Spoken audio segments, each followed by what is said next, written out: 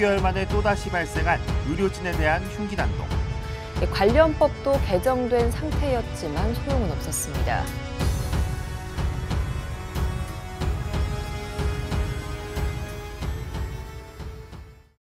정형외과 진료받았던 환자가 이 병원에서 이제 손가락 수술을 했던 환자였어요. 근데 이 환자가 2014년도에 자전거를 타다가 이제 공원에서 이렇게 넘어졌는데 타고 넘어지면서 이렇게 손을 한쪽을 짚다 보니 이 손에 이제 엄지 손가락 밑에 손바닥에 있는 뼈가 다 이게 으스러졌다고 하나요? 이렇게 금이 가서 이제 이 사태를 갖고 동네 병원에 갔더니 큰 병원에 갔으면 좋겠다라고 얘기를 해서 이제 방금 해당 병원에 갔던 거죠. 어, 수술 웬만큼 잘 됐고 주치의는 재활 치료를 받으면 정상인과 똑같이 활동을 할수 있다라고 얘기를 했다고 합니다.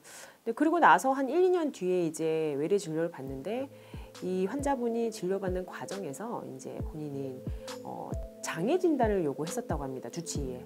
어, 재활 치료만 1년 과정 열심히 받으시면 굳이 장애 진단 안 받으셔도 정상인과 비슷한 활동을 할 수 있습니다라고 여러 번 얘기를 했는데 재활 치료에 대한 그 확인 절차를 해보니까 별로 이렇게 치료를 안 받으셨더라고요. 재활 치료를.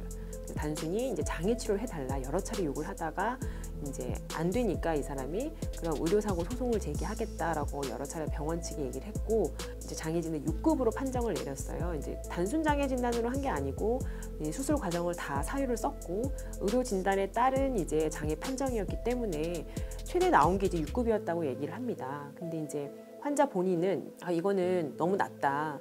나는 보험료를 타기 위해서라도 장애 등급이 더 이상이 나와야 되는데 너무 낮은 거 아니냐 이제 이러면서 손해배상 청구를 병원 측에다 제기를 한 거죠. 2심까지 가는 과정에서도 기각이 되니 재심 청구를 다시 했다고 합니다. 그래서 재심 청구가 2016년도에 제기됐고 재심 청구하는 결과가 사건 당일 이틀 전에 이제 통보가 됐어요. 재심할 여지가 없으니 이제 기각한다. 이래서 이 사람이 이제 홧김에 이제 병원 진료를 예약하고 당일날 오전에 진료실에서 대기하고 있다가 이제 진료실 들어가서 문을 잠그고 주치의에게 이런 흉기 난동을 부렸던 거죠.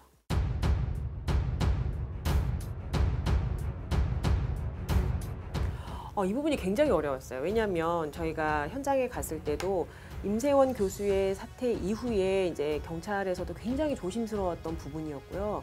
근데 병원 측에서 이제 피해자에 대한 얘기를 해줄 때는 기초생활 수급 대상자였다고 합니다. 이제 이건 병원 측에서 얘기를 해주신 거예요. 진료 기록서 내역에는 전혀 이제 정신질환자에 대한 그 진료 검색된 부분도 없고요. 환자였다라는 기록도 없는 걸로 파악이 됐습니다.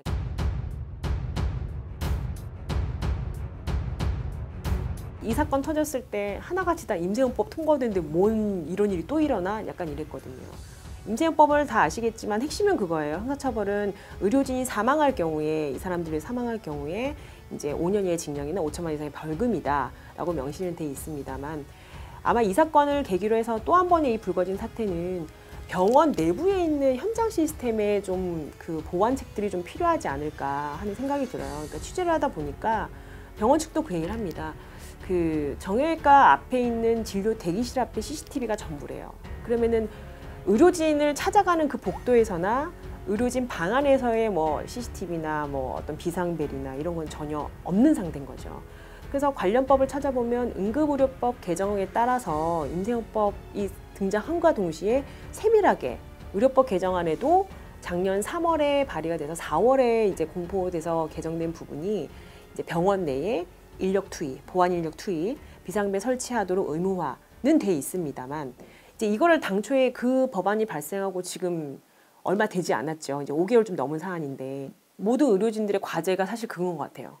환자를 안전하게 치료할 수 있는 그런 시스템, 더불어서 환자를 안전하게 봐줄 수 있는 의료진을 이렇게 보호해주는 정책 이건데 병원 관계자도 그런 얘기를 하더라고요. 보안 인력이 배치돼도 누구 말대로 방마다 그러니까 의료실 방마다 보안 배치를 두기도 사실 어렵고 단순히 하면 뭐 비상벨 정도는 가능하겠지만 그렇다고 의사실 안에 다 CCTV를 둘 수는 없잖아요.